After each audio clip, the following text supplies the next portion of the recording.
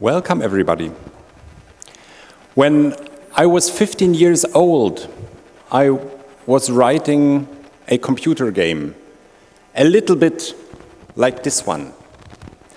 I wrote this on a C64 computer in the assembly language. Is anyone here in the room who has tried doing that, actually? One or two? A few people, great, congratulations. Well, I was writing, this was my first bigger program I wrote in assembler. And the way it was like, I wrote a couple of lines, tried to run the program. Usually the computer would crash. And I so I switched it off, waited a few seconds, switched it on again, loaded the computer, uh, the compiler, loaded my source code, and the entire process repeated. Needless to say that you won't program very fast doing this because my average debug run cycle was about 10 minutes. And this led to a lot of frustration. At the moment, my game is 24 years behind schedule. Only later I learned that on the C64 we had devices like this one, a small cartridge that you could plug in the back of the computer. It had a button on it, you push it, and you, uh, you jump right into the compiler, can edit your code, and continue where you stopped a few seconds ago. But I was totally unaware of that. And basically, the aim of my talk is to prevent us from pitfalls like this one in Python projects. Now, I'm not going to talk about anything fancy or totally new here, because what I want to address is a common problem that I have observed happening when people are new to Python or are a little bit more advanced in Python. After you mastered the Python basics, you pretty soon figure out that there are plenty of libraries. For instance, if I want to do data analysis, then I need to find a library for data analysis, like pandas. If I want to do, I don't know, signal processing or Fourier transformation, then I Google a library for that and find SciPy, for instance. Or if I want to do web development, then I will find Django, and so on. These things on the left side, they are easy to find. Even if I don't know them, I may have a hunch that something like this must exist. But the ones on the right side, if I have no idea that something like interactive debuggers exist, then I won't be looking for one. The same goes for automated testing, and the same goes for all the tools in the Python ecosystem that help support and maintain our code. And I want to shed a light on these dark spots. So if you walk out of this room and, and see, hey, I haven't learned anything new, then consider this an additional safety check. Pretty much like if people start an aeroplane pilots, they have a checklist that they go, okay, are the, um, do we have clearance from the tower? Are there any other planes on the runway? Do we have enough fuel for an emergency landing? And so on and so on. And I think it's good to have something like that in a programming project too, and this is why I call it best practices. And my talk is split into three parts. I would first like to talk about debugging, then show an example of te about testing, and then about maintenance.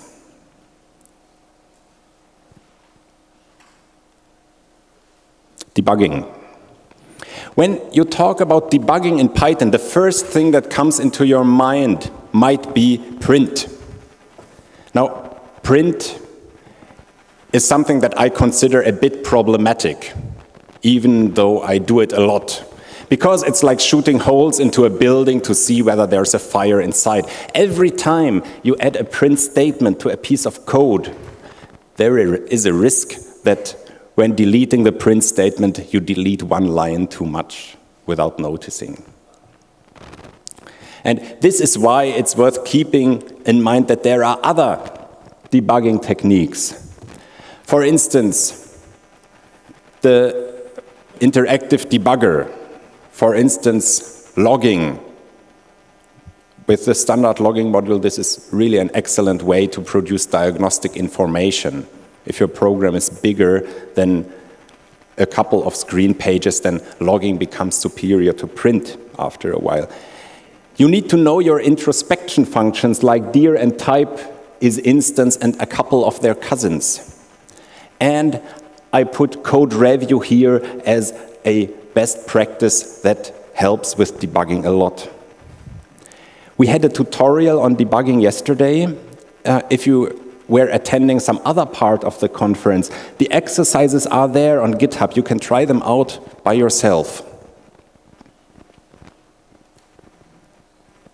But what about the really tough bugs? If something does not work and does not work, you stare at the code and go on staring at your code without any progress. I'm sure that this has happened to most of you in the room, at least it happens to me still after 28 years of programming. And I have figured out something very nasty over the years. Not that I'm lacking some additional best practice for debugging here, because nine out of 10 times the problem is inside my head rather than in the computer. And fortunately, there are ways to fix that. So I would like to add to those best practices of debugging for very elementary things. Sleep, talk, read, and write. Most of the time, if I spend more than 15 minutes on a bug and I don't find the solution, then I'm probably tired. Often it helps to talk to another person explaining what you do, to realize what the problem really is. Maybe I'm looking in the wrong spot and explaining helps usually. Sometimes my knowledge, my knowledge is limited, and reading the manual of the library, this time for real, helps. And if all of these fail, writing down what the program is, formulating a couple of hypotheses, um, or at least ideas what the problem might be, could lead to progress. Most of the time I'm lazy and take a break, and this has solved lots of bugs in the past for me. Testing. The check icon here is actually a bit of a provocation because this suggests something that automated testing does not do. Testing actually does not prove correctness of your program. I know that many Python developers, they love automated testing I like to use autom write automated tests and run them. It gives a feeling of achievement. Yeah? But there's a pitfall, and the pitfall is that one in the bottom right corner. If there is always a possibility, if my tests pass, it could be that both the code and the tests are incorrect, even if I try hard to keep my tests as simple as possible. So tests by themselves do not prove correctness of the code, but they have a potential to prove the presence of bugs. So if I see a failing test, I know that somewhere something is wrong. Now, how can we write good tests actually? Let's imagine we are writing the game, this time in Python, not in assembly this grew too tiresome. We have a figure that is pushing these blue boxes around. It can only push one box at a time, cannot push any boxes through the wall, and so on, until it reaches, until you reach the exit here in the bottom right. Now, how could a test for this situation look like? The first thing that you can think of is a fixture in PyTest. I learned today when talking to the PyTest core developers that it's a good idea to place fixtures in a file conftest.py and because they get automatically imported into all your test files. Now, fixtures are actually pretty straightforward. You decorate a function with the PyTest fixture decorator, and the name of the function will be available as a variable in all your test functions if you put it there as a parameter. So in that case, we would get we could have a level parameter available in our test that then contains a parsed version of our example game situation. Actually, I did something additional here. I parameterized the test. So there are two versions of the playing field supplied to the test, one with empty spaces and one with dots on the playing field. So I can have two fixtures or more in one by parameterization. And then we can use this in a test function. I like to group my test functions into classes. With PyTest, this is fortunately a lot easier than it used to be with unittest. I still have, have less boilerplate code. So I can write a normal test function with, with just an assertion that is self-sufficient, or I can use the level parameter here. Note that I'm not importing level anywhere. This gets automatically, automatically filled in by PyTest. Yeah? And this test function will generate two tests for me, one, uh, one for each of the variants in the fixture. What else can we do? The third most important thing that I would like to emphasize about automated testing is test parameterization. So we can have one test function write multiple, uh, try multiple examples, like here. We say by this parameterized decorator, we would like to try out all the examples in the list, like having a move that goes first up and then left, and afterwards the playing figure should end up on square 2x and 2y. It's even possible to build failing tests with this, or tests that we expect to be failing. So we have still write only one test function, but with this one, we would generate eight tests in total.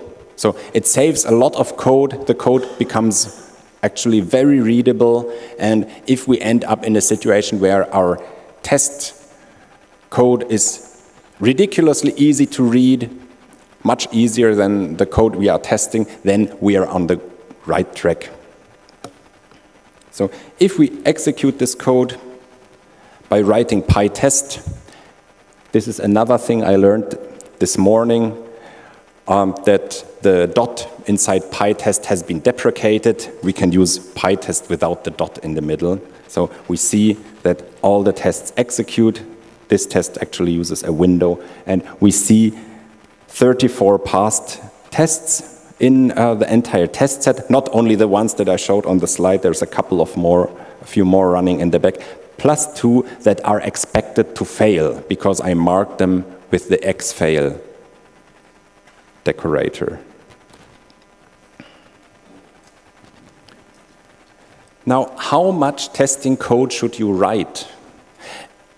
In my opinion, this depends quite a lot on the size of your project. If your project is small and prints an obvious result anyway, then maybe a manual test is enough unless you want this to be continuously integrated. Sometimes I still write test code in the main block of a small Python module. I can write, make automated PyTest functions out of this quite easily later if the project grows, add some fixtures as the thing grows further, and if the program keeps growing and growing, then at some point it might be helpful to switch on testing tools like Jenkins, Travis for continuous integration, or Tox for testing multiple Python versions. When I speak about size of the project, this can mean different things. It could be absolute volume in lines of code, but it could also be the expected lifetime of the project. So if I expect code to be maintained for two weeks, then I would not worry too much about testing if I'm writing a throwaway program. if the program has a high dependability, so if it needs to be extra safe, then doing more tests and reviews and things like that is also a good idea. In the final part of my talk, I would like to elaborate on maintenance. Python has a fairly sophisticated ecosystem of maintenance tools. Yeah? And they serve the single purpose of keeping your code in a good shape, like PEP 8 being a layer of paint on your program, like many of you probably have heard in the talk of Anand a while ago. Beauty, making beautiful code is uh, a virtue, and Python has nice tool support to help you with that. Instead of picking a few must-have tools, I tried to throw in some that keep reoccurring, with Git being in the middle being not a coincidence. So if there's anyone not using Git or version control yet in the moment, it's a good, this conference is a good starting point to learn that because you won't be getting anywhere without version control. But others, uh, there are many other tools as well. Some of them are interchangeable, like PyScaffold, recently uh, in my personal ranking surpassed by Cookiecutter. There is Sphinx for documentation, VirtualEnv and PyEnv for uh, managing your Python installations and libraries, Pylint and PyFlakes for, um, uh, for watching your coding style, and so on and so on. Now, what can you do to keep an overview of all of these tools? Now, I would like to just mention two possibilities here. One of them is um, Magdalena Rother is going to give a talk this Friday where uh, she's going to present, give an overview of all the different configuration files that, are, that you can find in a well-maintained Python project. So this is on Friday afternoon. If this is still too far away in the future, I recommend you to take a look at coala. coala, you, some of you may have noticed that there's a flyer in the conference bag. I visited the coala booth uh, yesterday and the developers actually gave me a quick introduction and I was able to run coala within, uh, within five or five minutes or 10 minutes. So Koala is a framework that basically hosts many linting tools. That means codes, uh, tools like Pylint, or MyPy or other tools that analyze the quality of your code, not just for Python. And I thought, how awesome is that? I can put, I can check not only my Python files, I can also check my HTML templates and JavaScript code and whatever has uh, been accumulating in my project and get everything from one tool uh, that tells me how good it is. So how does that work? Koala brings its own configuration files that are mainly contain a list of the tools that you want to switch on for a given type of file. For some reason, coala calls these different linters bears. So you have a list of bears in this configuration file, which is, in my opinion, it's kind of, kind of cute. And I need to say thanks to the developers for, for doing that. I really appreciate it. And uh, you can put in some additional parameters. What you can do when you have this coala file set up is that you simply write coala minus minus ci, and coala starts scanning your entire code base recursively, analyzes all the Python file, and comes up with a huge list of, um, um, of comments and suggestions for potential improvements. This ranges from sorting imports to style checks or even uh, using a static type checker on Python. So please feel encouraged to try coala out. I'm not as brave to call this a best practice yet because it's kind of a new, new tool, but um, I hope to make that, that statement next year. Now, this is an overview of testing, debugging, and maintenance practices that I wanted to give here. And uh, there's one more thing that I would like to do. I got into this topic and liked it so much that I wrote a book about it. And I got three copies with me that I'm happy to give away. So after the Q&A session, I'm holding a bag open here. So if you put a piece of paper with your name inside, I will draw uh, three lucky winners at the end of the session. And uh, you can read more about best, best practices there. And some of the content, like the debugging tutorial, you will find on my GitHub profile. That's it for, the, for my talk. Thank you very much for your attention.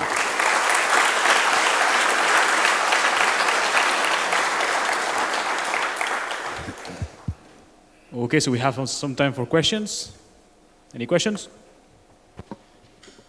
Okay.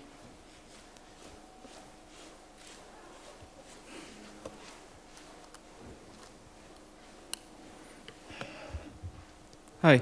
Uh, one thing I noticed that you didn't really mention was talking about um, virtual and kind of the mismatch of packages with repositories and pip and uh, uh, you know compiling from source. So could you repeat the question, please?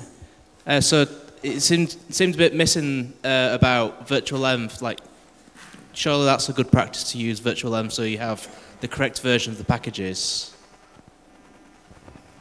So, so what's the best practice for, uh, for getting the, the versions of packages right? Well, so using a requirements yes, uh, that's, uh, dependencies file. Do we have requirements? Uh, do we, we, have requirements text here ah, on the top okay. of the cloud. So yes, uh, this is the number one way to go uh, for getting the uh, getting the right versions because pip can deal with it. Conda should be able to deal with it, and uh, saves you some trouble.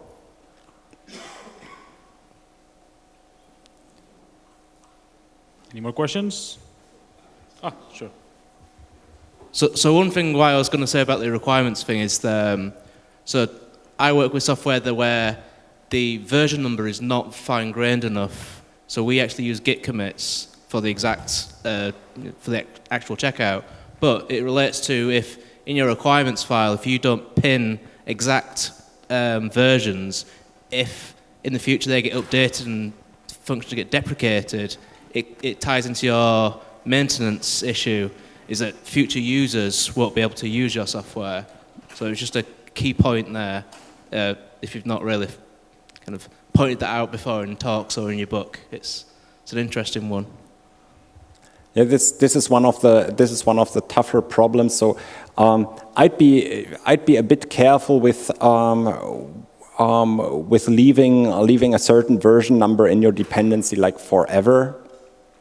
I wouldn't do that. Uh, rather rather check it for from time to time or check a few uh, different ones if a uh, if a newer newer one comes out. because I would not feel comfortable with leaving the version number um, um, empty all the time, especially not if you are planning to automatically deploy the code. If you are running the program manually, then uh, okay, I'll, I'd, I'd feel comfortable with it, but not if you have any automated pipeline running in the back of it. Is your book also available as an ebook? Um, yes, but um, unfortunately you have to pay for it. Yeah. but it is, yes. Fair enough. Okay, no more questions then. So that's it. So, applause.